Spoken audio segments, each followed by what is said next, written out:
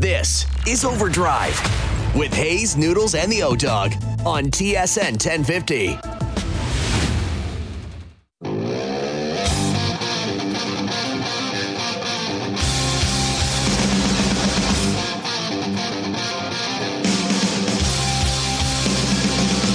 Hour two overdrive continues, brought to you by FanDuel, bringing you everything from the opening line to the final score. Bryan Hayes, Dave Poulin. Got Brad Lidge coming up here in a moment. Get Brad's take on what happened with the Jays over the weekend. You mentioned the 12 games that they have forthcoming here, Pooley. Washington, Oakland, Colorado, Last place. Kansas last place, City. last place. terrible teams. Washington just out of last place. Yep. Although they've been a little bit warm lately, but that can't matter to the Jays. They're a team you look at. I mean, you flip them on and you expect more. That's what you do.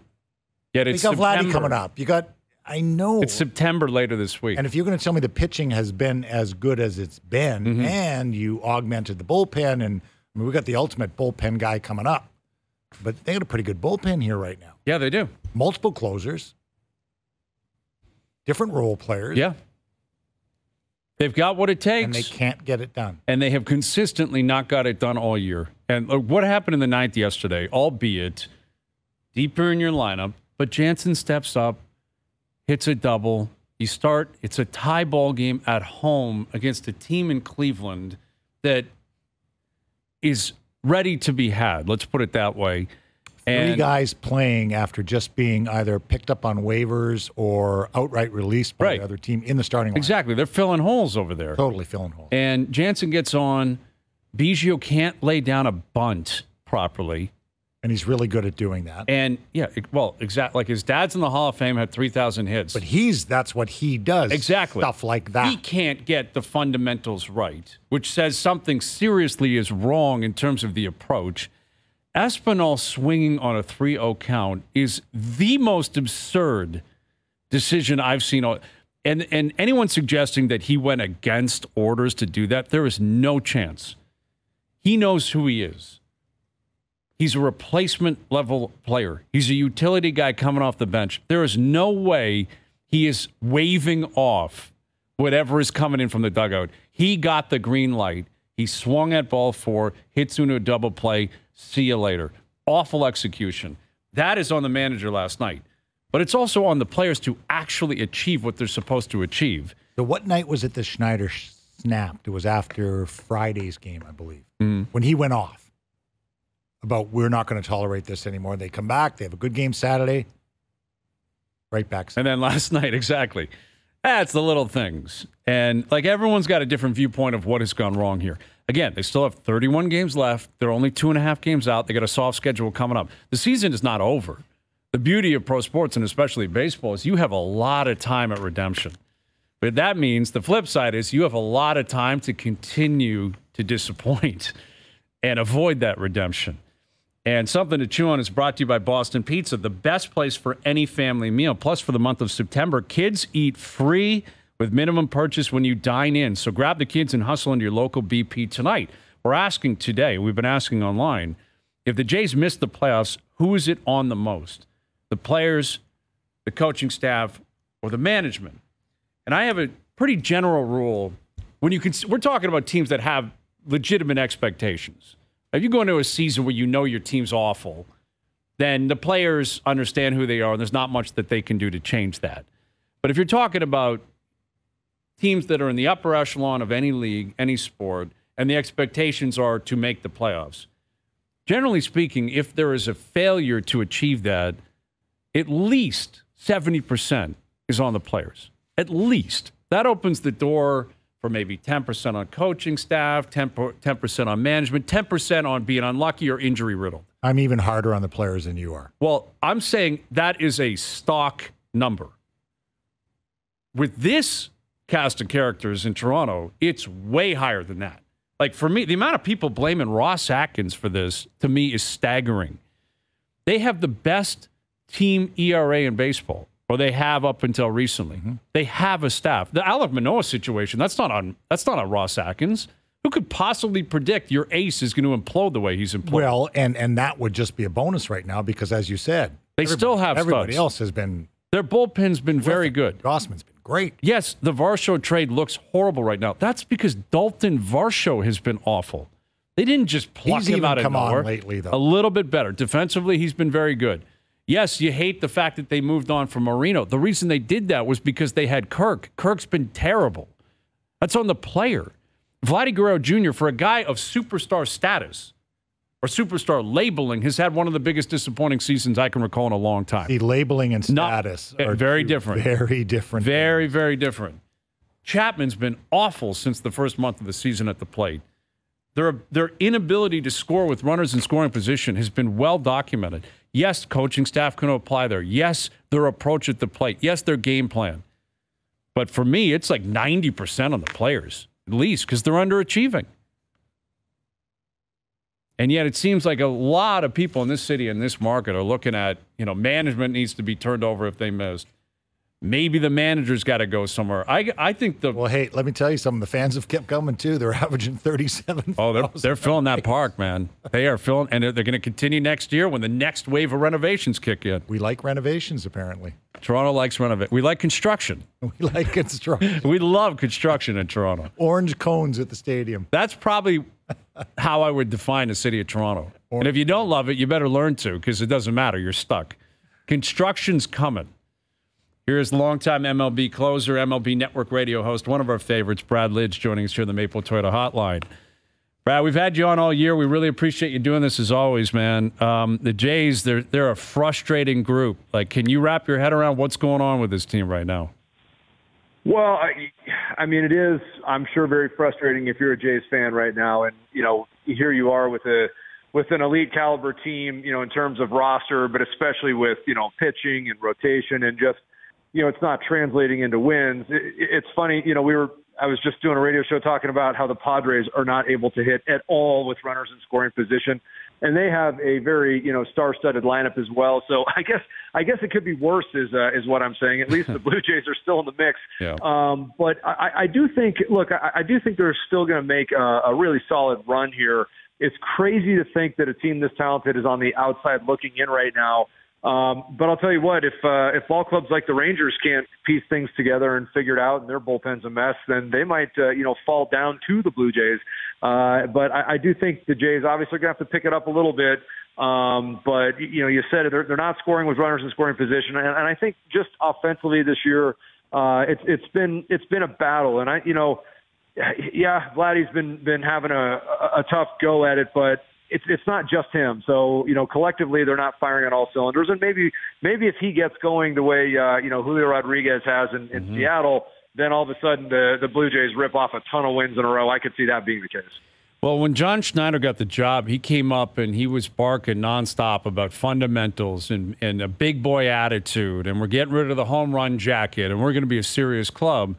And I think what he was hammering away on was like basically fundamentals, where if you hammer away on those enough in the spring, by the end of August, it's going to be routine.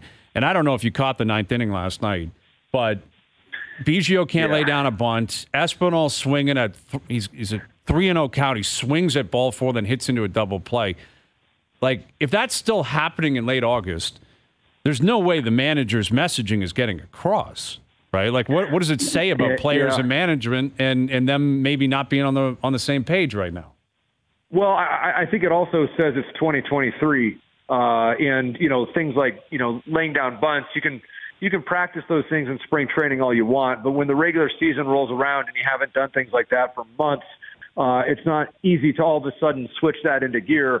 And I think in you know in baseball now, you just yeah, I know we're trying to get back to small ball a little bit this year, and in certain ways, you know teams have in, in some capacity, stealing bases and stuff like that, but bunting guys over still is not a big part of any team's you know recipe or game plan. And and I just think that you know if you're trying to all of a sudden you know you have a team that mashes and, and I know you want every manager wants good fundamentals. Every manager is going to try and instill that in spring training. But if that's not really been your mo all year and then all of a sudden you think you're going to flip a switch and and have great fundamentals and, and do the little things that uh, you know you haven't done for months good luck. And, uh, you know, I don't see the Blue Jays being able to execute that a ton. I don't see any teams really being able to execute that a ton because it's just not something that you've done for months. And and again, you know, by this point in the season, you're detached from spring training, you know, enough to where you can't just say, you know, that that's something we practiced and now what's wrong with these players? Well, if you don't keep up those skills, if you're not doing it all year long, you're not going to all of a sudden be able to execute here, you know, the week before September. Brad, the one thing that has been here all year has been pitching, and that's with the absence of Alek Manoah. But that situation has kind of turned a little strange in the last couple of weeks, and we've always seen young pitchers go through struggles. I mean that that part is not common, but but the way this has all been handled is a little bit different than usual. It seems like. Yeah, I mean, it's just, it's all really unfortunate. And, you know, I, I think, you know, for me, um, you know, when Manoah was sent down initially and there were all these, you know, like talks of, hey, you know, this is what happened with Roy Halladay and Doc, you know, he started and he, and he ramped it back up and then look what happened. This will be good for Manoah in the long run. I, I don't know. You know, I, I don't, I don't know where he's at right now. It's, it's, it's obviously very tough to have to go through something like this. And, uh, you know, I didn't, like I'm not going to put this on him, but I didn't necessarily love all the you know All Star game stuff that was happening last year, and then you know having all these like you know midweek conversations uh, you know regularly with ESPN and stuff going into the season. I just felt like for for a young starting pitcher, you know you need to establish yourself for a few years before you know you kind of commit to a lot of uh, public stuff because uh, as baseball, as we all know, it, it humbles you. And uh, this year, I don't wish that on anybody what Manoah is going through. So. Um, you know, it's fortunately uh, for the Blue Jays, they've you know Ryu is back. He's throwing the ball well, and uh, I, it is amazing. You're right; they've pitched well all year despite the Manoah situation, and that's one of the reasons why. You know, if for some reason the Jays don't make the postseason this year, people are just going to look back and scratch their heads and say, "How did that happen? How did we miss on a year where our rotation was good enough to get really, really deep into the postseason? How did we not even get into the postseason?" So it's interesting because you've talked about, you know, the Vladdies and Bo and Springer, and then you talk about the pitching side. It sounds like a team that no one would want to play in the playoffs if they can get there. Uh, It's exactly right. I mean, they're, uh, you know, and I'm not trying to be biased here. Obviously, the Phillies, my former team, are, are a team like the Blue Jays, and that they have a really great top of the rotation punch, but the rotation in general is deeper than you think. And then, of course, maybe if the offense hasn't displayed firepower at all times, they're certainly capable of doing it. And that's the way it is with, with the Blue Jays. Like if they, you know, if, if Vladdy does get, uh, you know, kind of locked in the last month of the season, I think that kind of loosens up everybody else and it takes pressure off of everybody else. And then all of a sudden they become a monster, and you know they're they're a wild card team going in that nobody wants to face in a short series. And uh, you know it really comes down to you know what you have at the top of the rotation in those short series. And obviously for the Blue Jays, they have plenty at the very top, and they can get past a lot of teams because of that. So you know, going into the postseason, it almost it doesn't matter too much to me how they're seeded. It's going to be obviously you know nearly impossible to catch the Rays in Baltimore. Although I do expect Baltimore uh, to take a step back without uh, Felix Bautista, but it's going to be nearly impossible to catch those teams. What they just need to do is focus on getting there because you know once the Jays are there, they will be a very dangerous team. I mean, they'll have a really good chance at, at you know potentially even representing the American League if they can just get their foot in the door.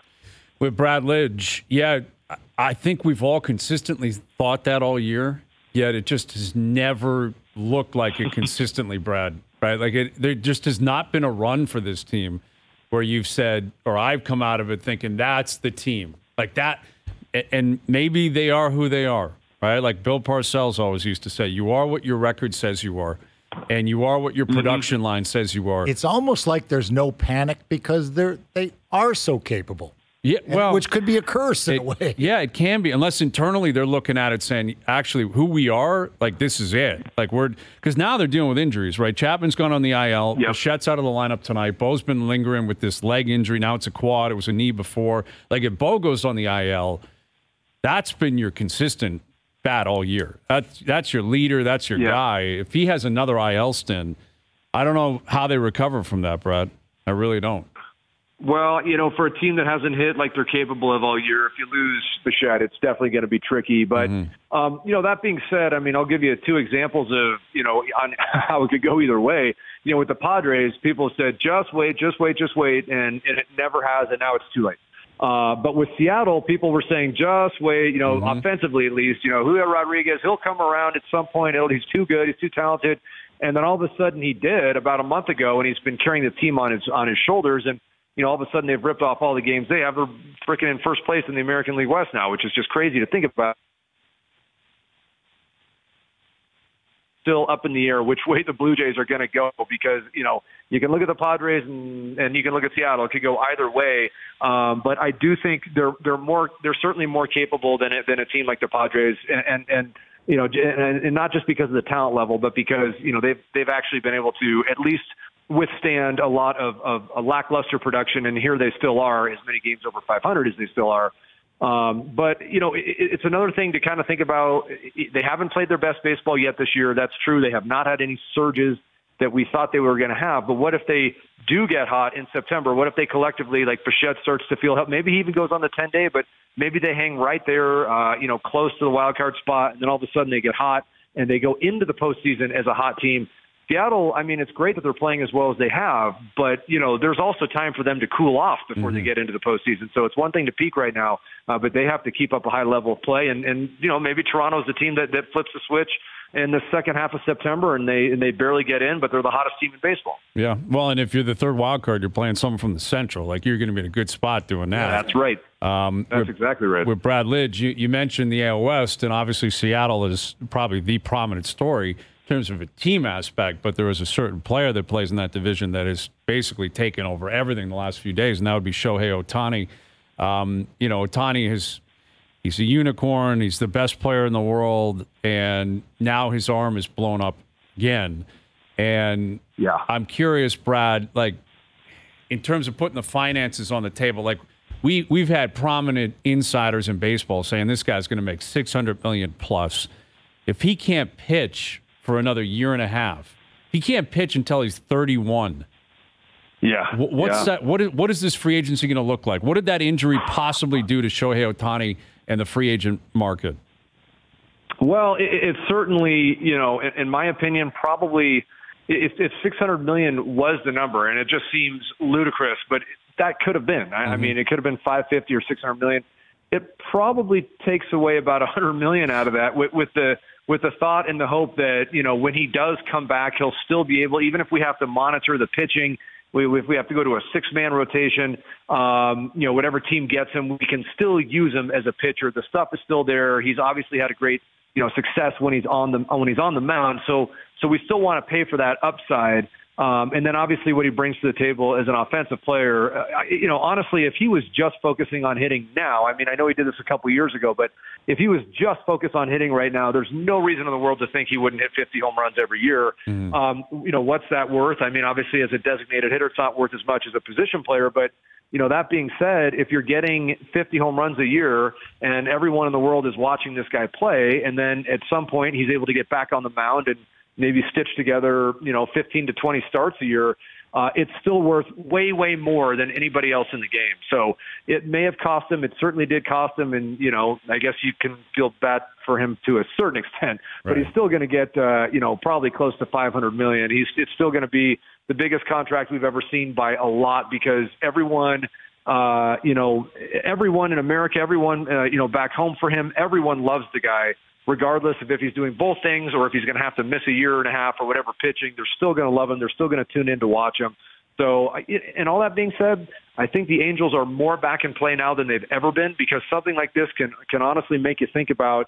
You know, he's got his home out there, and uh, you know the, the Angels let him kind of stitch together however he wants to do things, and uh, there's a certain comfort level. So this this injury might have put the Angels back toward the forefront of landing him. Always great catching up with you, Brad. We appreciate it. We'll do it again soon. All right, guys. Sounds great. Take care. Brad Lidge, longtime MLB closer, MLB Network radio host, joining us here on the Maple Toyota Hotline. Build your next dream Toyota at Maple Toyota. Check out Maple Toyota's pre-owned inventory arriving daily. It's time to Toyota. Visit mapletoyota.com. What's interesting about that angle, the Angels angle, is that the Angels GM over the weekend revealed that the team wanted Ohtani to go for an MRI, and Ohtani and his camp declined like prior to his arm eventually giving out when he had skipped the start, the previous start, which had a lot of people wondering, like, why would you reveal that information? Like, if that was private between the two parties, why would you go public with that unless you're trying to either save face or cut or, bait or trade him? Well, it's over now. I mean, that's the thing. No, that, no, but I mean, I, I think it might be we, we're out. Like we no, we're not we, we can't pay 600 million anymore. Well, I don't think- this guy's arm isn't going to hold up. Right? Like the fact is with Ohtani, yes, the bat is remarkably captivating. So is But- Mike Trout's. Exactly. There's a lot of power bats. If you're if you're Trout's. if you're a great bat and you're going to be 30 years old and you DH, that's worth a lot of money. Not, Not setting a with new that. standard. What made Ohtani Ohtani was that he could pitch. That's what pushed him in a different stratosphere. That's what made him almost a, a traveling circus. I wrote a great piece on. I read a great piece on that, and it said the human body won again. Yeah. Well, this will be likely the second time he's got to go for Tommy like John. the human body, despite his skill, despite mm. his abilities, the human body said, "No, you can't. You can't continue to do this." Well, remember he had that day in Detroit uh, prior to coming up here to play the Jays, where he was scheduled to pitch against Toronto. Originally, they thought it would be the Sunday. Then things got scattered, and it was supposed to be the Friday night. And then a game got rained out on the Thursday in Detroit. They played a doubleheader on the Friday. This would have been maybe a three weeks ago to a month. And he pitched a gem in the first game. Like I think it was a nine inning shutout, and then hit, I believe, two home runs in the in, afternoon. in the second game, yeah. And then I want to say he left in the afternoon on fatigue. And yet it was it was just after the deadline, I believe, or just after they had made the Giolito trade. And it was like, all right, you're in. You got to go get those wins. Look at the great Ohtani. And then he left that game in the afternoon. I remember being on the air saying, what does this mean for him you coming up here? that was the timing on well, the? I don't know if that's when he, I don't remember the injury or why he Because left that would have been before the trade deadline. but it was basically this guy look what he's doing in back-to-back games same day and then the next night he was in the lineup against the jays and it was almost like we're we got to run this guy into the ground Well, here even when he was we're going for it. diagnosed, he played the next game. right He exactly hit in the next game. and after tommy john he kept hitting like this guy he's a freak when it comes to being a like a guy he's a he's a player. He's a pure athlete that wants to play. Like i have a massive amount of appreciation for that but it, you're right. It feels like the body won again and the combination of the angels being so desperate and so poorly built around him that it just it drove him into the ground. Like he had to keep going and going and going. Like a guy a guy that pitches and throws that many ba- like th- he should never be playing the next day like it, i wonder if in retrospect they look back on it and say there should have been something built in where basically he doesn't hit the day before he pitches and the day after he Well, what's really funny about or whatever it was supposed to be when you look at those schedules, and I've known some guys that you know, and you say, "Well, what did you do today?" Well, I had a light jog. yeah A light jog. Mm-hmm. That's what you do the day after you pitch. yeah you're spent That's it. and this guy's going up and giving you four or five abs Yeah. and it sucks because naturally it was probably going to break down and i don't know what that free agency looks like now for Ohtani because i just i can't picture owners around baseball saying we're going to invest in a guy who's going to be 30 who's i believe about to go through a second tommy john or we think that's probably going to happen I don't know if that arm's going to be there anymore. So are you paying for the pitcher and the batter, or are you And pitching for only the bat? The And if- history of that surgery is you come back stronger, but very often it's at 24, 25 years old, It's Mm-hmm. 31 years old. yeah. Now Verlander changed the game when Verlander just went through it, came back and won a Cy Young. Still a beast. May- Maybe it, like Not science and five times a technology. night. Yeah. Well, that's the difference, right? Like at some point, it felt like he was going to have to choose. But even the mental side of that, think of the mental side of having to do that. There's no rest, zero. Hmm. Yeah. That was the amazing thing about that day in Detroit was that he threw a, a complete game shutout and then hit two bombs in the afternoon. It's awesome. Incredible. But about three weeks later, it's like, all right, this guy's whole career is going to take a different turn, man. And and I just I wonder if the Angels now are looking at it, and it's so typical that the Angels are so poorly run. They should have traded him at the trade deadline and got as much of a haul as you could possibly get. Because look at them, they're a disaster. They've lost a ton. They're out of it, and now. I wonder if that owner is going to say we got to cut bait completely because I'm not paying this guy. I'm sure they've gone down a certain path with negotiations. Like, I'd be curious if you've ever been in a situation like that where both parties are talking and there's an understanding this is kind of what it's going to look like. And, And then a then major injury hits where you know the player's like, doesn't change anything for me. I'm still asking for the same thing and I want the same thing. I would guess the team's probably like, eh, it kind of changes something for us. You factor It in has to. everything. And and you if you had that discussion with a winning team, in this case you're having it with a team that hasn't won anything Mm-hmm. with or without the player. Doesn't have a history of winning, it doesn't have and they haven't been able to build teams around superstars. They haven't proven anything that shows that they're capable of building a team around them. They just haven't. No, and I have no belief that they ever will. And yet, if the market changes here and the number goes down, does it bring more teams in? Oh, I think it would. Now, once again, if I were a manager, you'd be thinking we're getting the hitter. That's the thing. Some teams will scratch him off immediately, saying we can't do it because he he's we're getting a DH for the next ten years, Mm-hmm.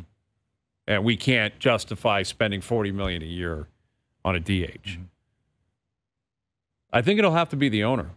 I think this is a rare situation where it's more who is the bullish owner that walks in and says, "Go get him." But you go to see him, the multi-purpose Ohtani. That's who you go to see. Yeah, exactly. That's what's that's what made him different. Is he the best bat in baseball? Probably, but it's up for debate. There's a lot of best bets. There's a lot of great bats. there are. Judge hit 62 bombs last year. You've got Matt Olson's putting together a season. You got Acuna. You got Tatis Jr. who's back in the mix. Juan Soto when he's on. There's a lot of great bats. but Harper, it's funny Trout. when you're talking to Brad Lidge where he goes with the Jays. It's Mm-hmm. about Vladdy. yeah. It's about Vladdy. Well, Vladdy's the poster boy for the issues at the plate. Bo is the volume hitter, but the spirit of the team seems to be about Vladdy. Vladdy has the He referenced capability. him like three times or Yeah. four times and said, Well, he mentioned Julio Rodriguez, who he, that kind of is the similar role, a guy who can basically change the complexion of your whole team with a swing. with a swing and with a hot run, with a 15, 20 game run where this guy is absolutely lethal. We've seen those runs in the we home have run. we, we saw him multiple times. Well, we saw him at the home run derby, but in in uh, 2021, we saw it like multiple times. You can't hit 48 home runs without like two or three runs of you know 20 game segments where you are clear cut the most dangerous man on the planet. and it changes the way they pitch around you. Everything changes. In front of you, behind you, everything. Teams are not scared of Vladdy right now. They're sca- they're scared of his reputation. They're scared of his capability, but I don't think they're scared of the, The zone the zone he's in right now. He doesn't walk up with an aura, Funny to have an uncomfortable 20 home runs. Which he just got to. Mm-hmm. To be they're the they were I think they were one of only 3 teams in baseball that did not have a 20 home run hitter on their roster this late into the season. And at this point, what's he going to get to? 25, 27? Not if he has the run you th- say he's going to have. Well, I'm not. I'm not predicting he's going to have it. Uh, listen, I, I I can't get there with this Blue Jay team, where I'm just going to predict they're going to snap out of it. It just they they shoot themselves in the foot way too often. They do, but somehow they remain likable. Like they're as good at winning. When they win, they're so good at it, the way they act. Aren't, don't they? Eh, well, Like they're great winners. you're right in terms of them having fun. yeah, and they seem to have a professional aura to them when they win. Then it's hey, Springer's a vet that knows what he's doing. Kiermaier, Belt, what a guy. When they lose, then all of a sudden Yeah, Belt looks like the pickup for a couple of weeks. Varsho looked right. like he got it it, going. it turns into what happened with Varsho. What happened? Why is Espinal in a situation like that? Where's Davis Schneider? Why can't he hit more? Right, and that becomes the, come, the conversation. What are they doing wrong? That's natural, I guess, in sports. Uh, Keegan Matheson, more on the Jays in about a half an hour from the park. Jays Nats tonight. Overdrive continues. TSN 1050 and on TSN 2. Now, back to Overdrive with Hayes, Noodles, and the O Dog. That, that, that, that's my, that's my way. Do it like that and I repeat. Don't be scared, I ain't afraid. Just like that, come my way. All right, Keegan Matheson in about a half an hour from the Rogers Center. No Bo Bichette tonight. Matt Chapman is on the IL. Jays with Washington in town tonight. Kevin Gausman on the mound. So the Jays are uh, they're in flux.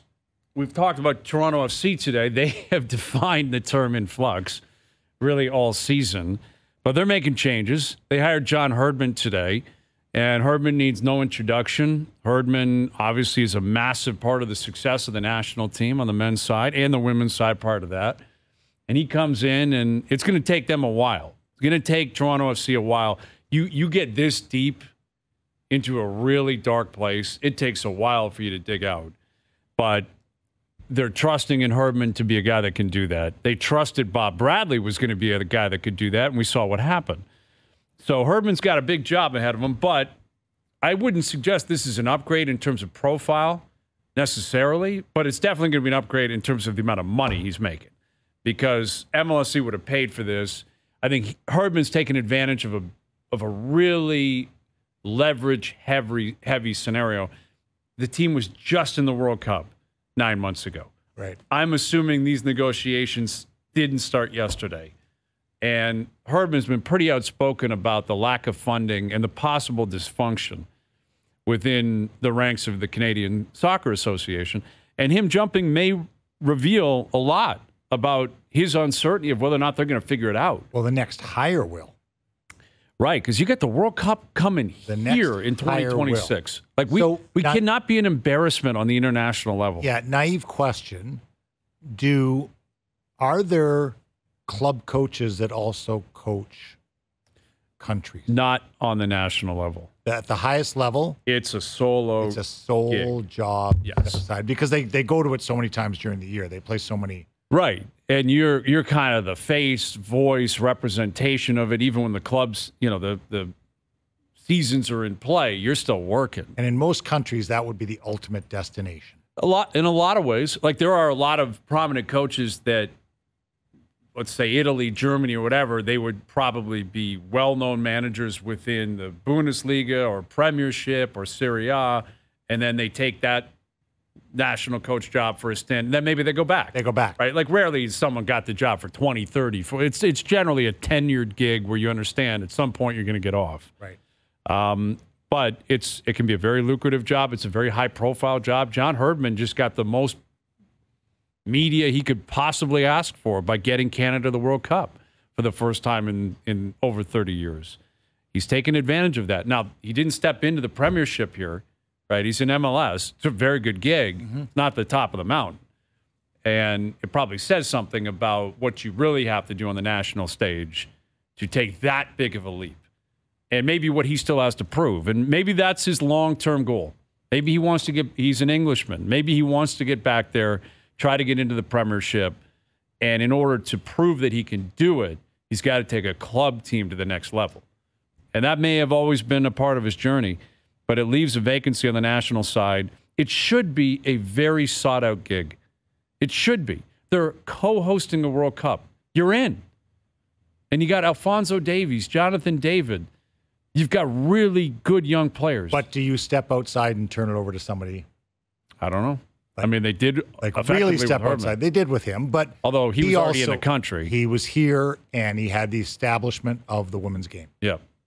that Uh, he done very well with. Going to be a fascinating, He would I have think, two six months. medals, I believe. He'd have two two bronzes Yes, on the women's side. the women's side, Yeah. although they were favored to win more than that. Uh, uh, they were, yeah, and, and a, a part they of that in was the them. They were them in the mix. They were in the hosting a World Cup as well, right? In 15, he was still in charge at that point. Um, but yeah, Toronto FC now they feel like they've got their guy, and it's going to take some heavy lifting. We'll see what else they've got. As for the other, you know, other teams here in Toronto, the Raptors, they're going to be in camp soon. The Leafs will be in camp soon. And we talked about Auston Matthews. You know, obviously you and I weren't on the air last week when the news broke that he signed his deal. But the ripple effect that this can have on what Brad Treliving and company are going to try to do next. Because Trey Living, when he got here, like one of the first things he really tried to hammer home was that he, he's trying to get rid of the core four. He wants it to be about the team and not about the individual players. I don't believe this contract does that because it still suggests that Matthews is acting differently than other superstars around the league. But because he didn't take four, the eight years. of the core four. He is the core. Yes. So I don't think we know until the next move. I agree with you, and I think that's that's where I was trying to get to here. I think with Matthews, Treliving's hands were largely tied and he was going to try to get as many years as he could and get the cap as low as he could. And I'm sure he pitched Matthews on both. Matthews listened. They came to terms on a four-year extension. Let's not forget he's got another year left Five at years. 11.6. So he's here for five more years. You've played on a lot of great teams. I'm sure there was the one guy that was different than, than everyone else. And I'm sure even in the room you understood it. I'm sure you got to Boston, you realized that guy wearing 77, probably a little bit different than everyone else. In terms of the way you would expect management to handle him. Probably number eight more than 77. Really? Cam Neely more so than Bourque? Yeah. Okay. That's interesting. I find, like, was it considered in Boston Neely was the better player? No, More important player? no, different. I, I think just different. It, it was like he had come into the Bruins and Mm-hmm. excelled far beyond, you know, whereas Bourque was just like Bourque had the complexity of being the Bobby Orr replacement Right. with Brad Park in between, hmm you know, and he fulfilled it. Right. Well, in He terms was of, almost more institutionally a Bruin than Neely was. Mhm. Neely grew into it. But from from a contract standpoint, if you said like Ray wasn't going to hold out, Ray wasn't going to you just knew he was going to be there. be there. Yeah, exactly. and well, they were going to make sure he was. well, and that's I guess what I'm saying is that's kind of what's happened here with Matthews. And Matthews is more Bourque. Matthews is is the institution. He's the marquee guy. He's he's synonymous with being a Maple Leaf. Not that Marner is not. Not that Willie isn't. Not that Tavares isn't. And Tavares is different. He's got two years left. Everyone knows he's not making 11 million. I don't know what his future is in Toronto, but he's here for two years. He's going to get paid. He'll be their captain.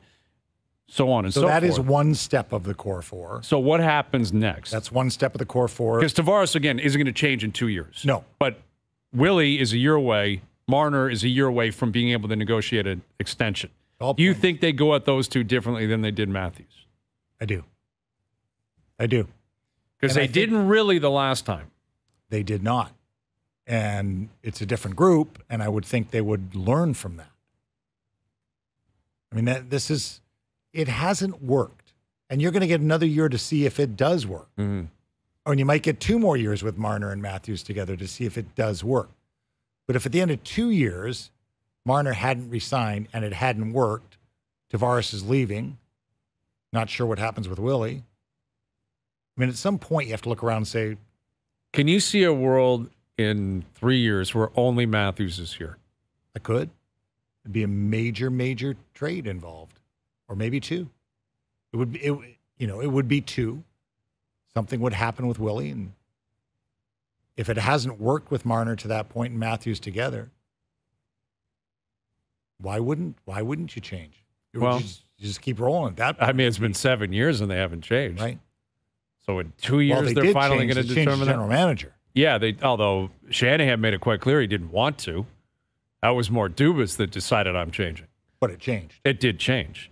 Yes. So that's the first thing that changed. I just,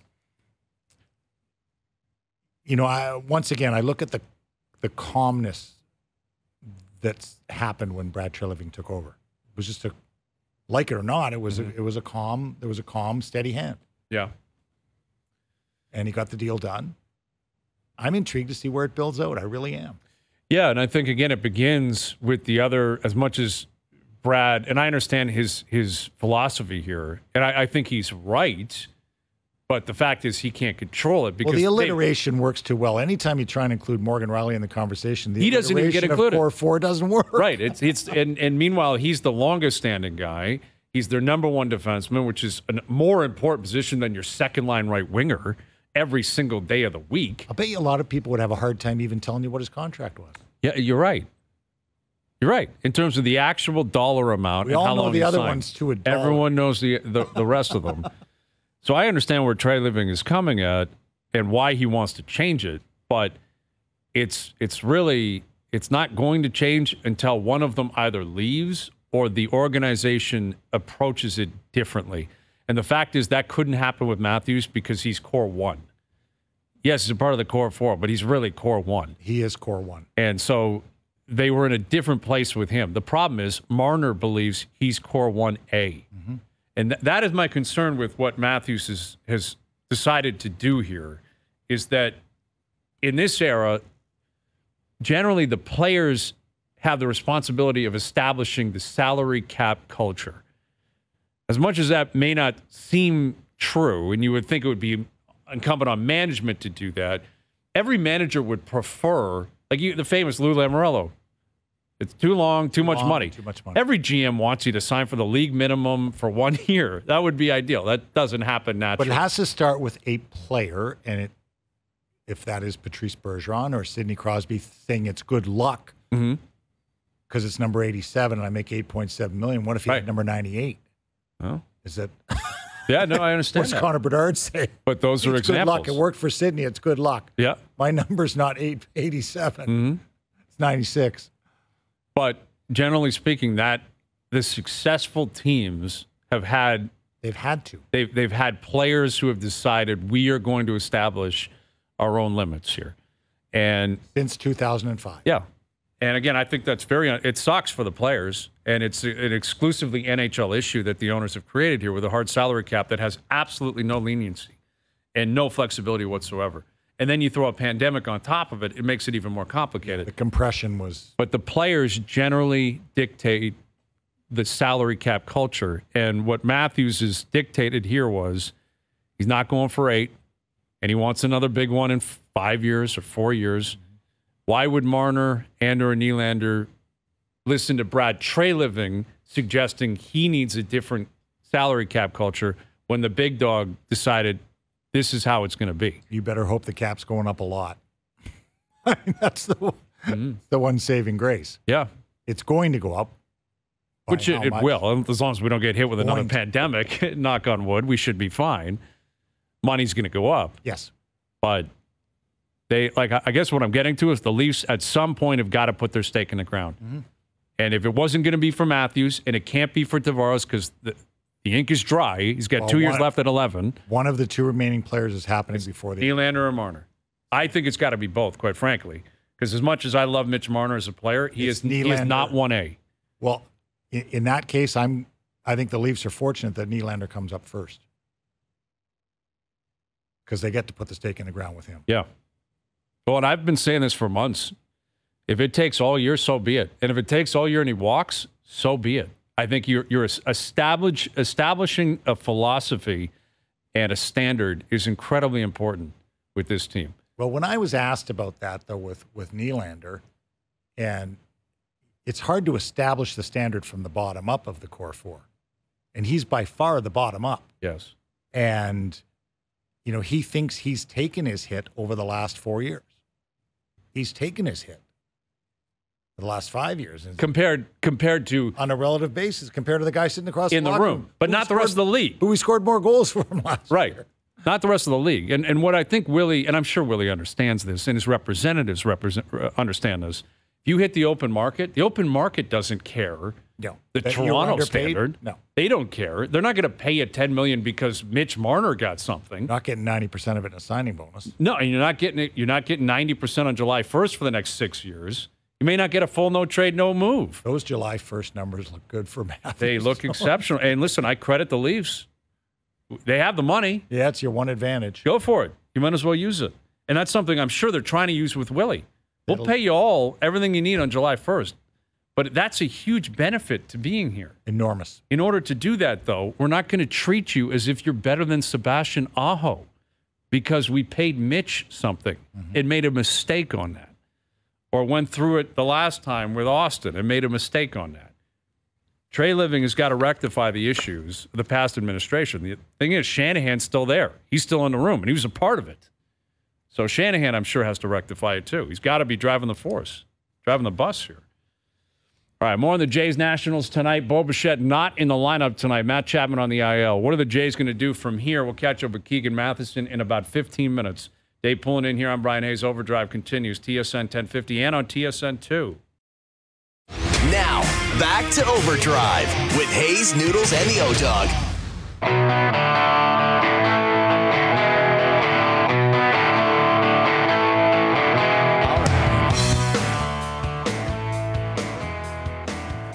All right, more on the Jays Nationals coming up. golf season effectively over, though. I guess the Ryder Cup is still around the corner, which is going to be cool. But um, I don't know if you're hitting the ball like Viktor Hovland these days, Pooley. But he's going to run to the Ryder Cup.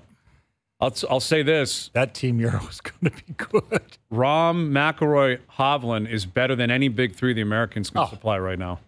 Like, no question. Three of the top four in the world. Yeah, I mean Scheffler, but Scheffler can't putt. Scheffler's tee to green this year was an absolute clinic. It was basically Tiger in 2000, and yet he was putting like Happy Gilmore. He can't putt. He was first in shot and strokes gained in every category, and something like 142nd in putting. It's amazing when you see him line up and you think he's going to miss. Yeah. He's that good. And he thinks he's going to miss. Well, the Lucas Glover stuff with the putter, though, mm-hmm. when he really talked about how the only way he was going to pick up the new putter was to go into the garage and not let anyone see him. Mm-hmm.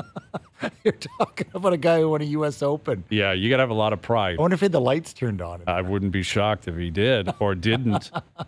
but Hovland, man, he put on a clinic this weekend. 25 years old. He is a super. He's a burgeoning superstar. That's what he is, and that's Yeah, but you've said that about a number of guys in the last couple of years. I mean, Well, a lot of good true. young golfers have gone through. yeah. And he even had their ups and downs. Like he came out with Morikawa. Morikawa's already got two majors, but Morikawa feels like he's dipped a little bit the Mm-hmm. Feels like last he's year, dipped. year and a half. Um, JT is clearly dipped. JT. Although it's reports are out there, Thomas is going to be on the Ryder think- Cup team. yeah. That's because he's in, right? I'd like a Zach bigger Johnson. body. I'd like the big body of work. I don't mind that. Listen, he's and he's a rah rah guy. It's an emotional tournament, Pairs well with Spieth. but Is Spieth going to be? they're in Europe. Exactly, they're in Europe. The Europeans look good. It's going to be a fun tournament. it will be fun. It will be fun. Final hour coming up. Dave Poulin in here. I'm Bryan Hayes. Overdrive continues. TSN 1050 and on the TSN app.